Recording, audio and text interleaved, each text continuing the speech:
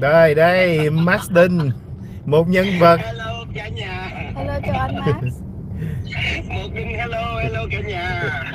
Hello Rồi. tất cả mọi người trên xe nha. Em cũng đang coi cái livestream của anh đó. Thì à, nói chung là em à, hoang mang quá. mang mang ha đó Martin chính là cái người đầu tiên phát hiện ra là sao mà thu Trần Thị Minh Thu với lại Trần Thị Kim Hoa sao có cái giọng nói mà nó không thể nào mà tách được phân biệt được giọng ai với giọng ai nè đây Đúng, đó. đúng không anh Dũng? Đúng, Khi đúng, mà đúng. Em báo cho anh thì anh anh Duy Huynh nói là ok. chắc mẹ con thì giống nhau yes, mấy con thì giống nhau. nhưng mà sorry có nhiều cái mà em em à, em em em những cái chi tiết nhỏ khi mà em tiếp xúc với lại à, cái nhân vật à, bà Hoa à, và cái nhân vật à, Thu này á thì nó có rất là nhiều những cái chi tiết nhỏ nhỏ thiệt là nhỏ. Cho nên em mới báo lại với anh à, Sơn và anh Dũng để mà mà mà truy tìm nghe có phải là, là xe nó nào. cho nên cái mặt của Max nó không có nó không có ổn định dạ. rồi. Em hoang mang quá Mr. Dũng ơi. Oh my god. Ai cũng hoang mang hết. Bây giờ là bây giờ là nhiều người mà đi cầu nguyện cho cho bà Maria nữa chứ đời, thì bây giờ có cái mẫu đơn rồi đó. Thực sự nếu mà cái cô thu đó mà cô cổ chạy tới chạy lui để cô tìm cái nơi mà mẹ cô gửi thì ờ, cô nói cái sự khó khăn thì đúng là có đó Max. Anh với lại ờ, bốn chiến hữu đây chạy vô trong chợ chạy qua chạy lại những cái nơi gọi là tín nghĩa đưa ra những cái mẫu đơn không có đúng. Rồi tìm tên của cái người Trần Thị Kim Hoa. Người ta, ta lắc đầu người ta nói trời ơi hoa trần ở đây nhiều lắm mà không mình mình là ai mà mình tìm?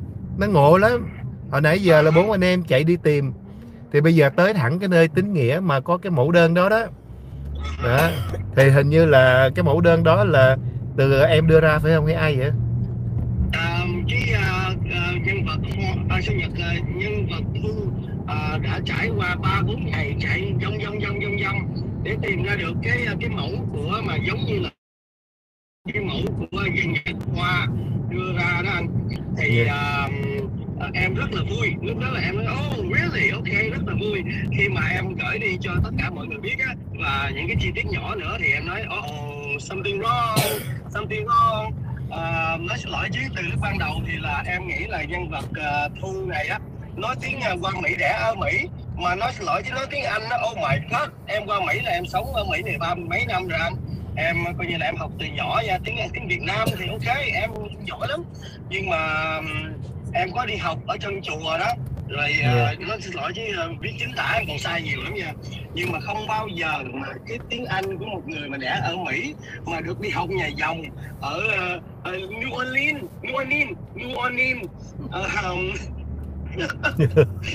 ờ, mà nói tiếng Anh đó thì chứ ờ, ờ, xin lỗi nha dở dở hơn những người mà mà ở Việt Nam đã học tiếng Anh thì ờ, những cái chi tiết nho nhỏ như vậy thì em rất là hoang mang nha chứ chơi nhà lên lên lên list rồi Nhà bán luôn. rồi cái nhà được được rao bán rồi dạ Long Long Long ghé vô những cái realtor Việt Nam luôn á anh. Ok. đưa tờ Việt Nam luôn à, Oh tới dạ Ủa, anh có mua hoa không anh? Anh có mua hoa không? Ờ, không.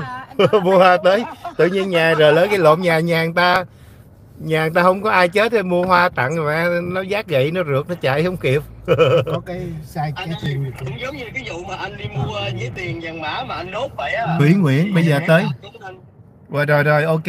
Rồi bây giờ bây giờ mình theo dõi nha